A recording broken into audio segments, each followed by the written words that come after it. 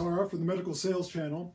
Why is it that ambitious, intelligent, and hardworking medical sales representatives don't close more business? They're making plenty of sales calls.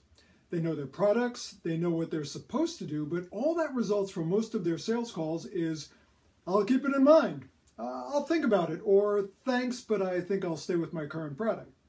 What's the problem? Medical sales reps often overestimate their abilities. Don't get me wrong, confidence is a beautiful thing.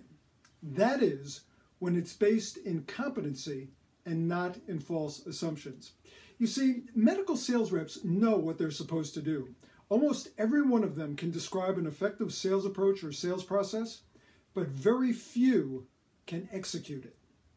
Too often, salespeople confuse familiarity with competency.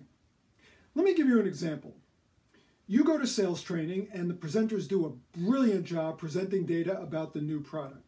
And they've got great PowerPoints, beautiful, 27 colors, they're animated, features and benefits, competitive advantages, pricing strategies. You leave training excited to get out and sell the new product to your customers. But are you really prepared to do this?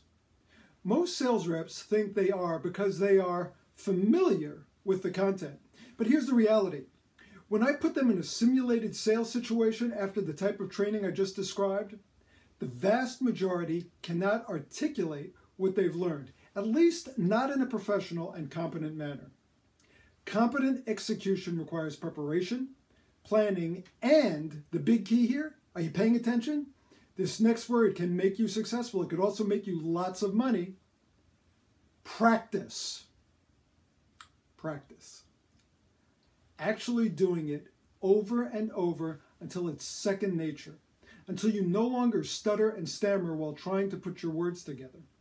Again, the word is practice. Not thinking about it, not running through the presentation in your head while you're driving to the sales call, actual practice with another person. Imagine you've never played golf in your life. Many people who play golf play like they've never played in their life, but I digress. Here's the scenario. You're going to play in a golf match next week where the prize is $1 million.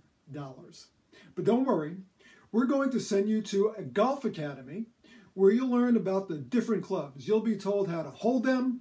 You'll see some PowerPoint slides that will break down the golf swing. They'll show you videos. And when you leave training, you're going to know a lot about golf. And next week, you have the opportunity to earn $1 million. Let me ask you something. Wouldn't you like to swing each club a bunch of times before getting out on the course? Don't you want to hit some balls? Why? Because you want to see if you can do it. You don't want to risk making a fool of yourself and losing $1 million. You want a chance to practice. You would be a fool not to, right? Your medical sales efforts are no different. Are you expected to sell a million dollars or more worth of products this year? Whatever the number is, why would you go out on the course, in other words, your territory, and think you could beat the competition without ever swinging the club? In other words, practicing your selling skills. A familiarity with your products does not make you competent. Knowing what successful salespeople do does not make you competent. Success in medical sales isn't just about what you know. It's about your ability to execute day in and day out at a competent level.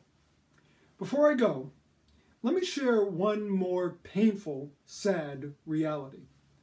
Many of you who just watched this video now believe you know the key to successful medical sales, and quite honestly, you do.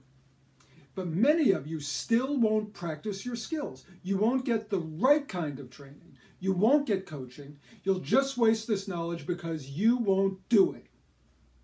If I just made you a little uncomfortable, that's good. The question is, what are you going to do with that discomfort? Will you ignore it, or will you do what it takes to become competent? When you're willing to do what your competition isn't willing to do, you will beat them. You've got to be better than your product. It's not what you know, it's what you do. If you want more information about how to be a successful medical sales professional performing at the top of your game, visit my website, www.medicalsalestraining.com. Thanks for stopping by for a dose of reality. Do something good with that discomfort. For the Medical Sales Channel, I'm Mace Horoff.